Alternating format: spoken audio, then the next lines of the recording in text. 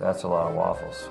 You ate all the waffles? Yes, I did. Could have asked us if we wanted any. Nuh-uh, if I give you the waffles, I won't get any. Link, would you like a waffle? There is no more waffles. I have them all. I know, it's an example. Why, yes, Red, I think I would like two waffles. You can't, you want two of them? So if Link gets two waffles, and I get two waffles, that still leaves eight waffles for you. I don't want eight waffles. I want 12. I want 12 of them. If you can seriously eat all those waffles, I will personally drive you to the store to buy some more. I just, I just don't know why you guys get all the waffles. You still have more waffles than Red and me combined. They're mine. I got them from the freezer and I put them on my plate.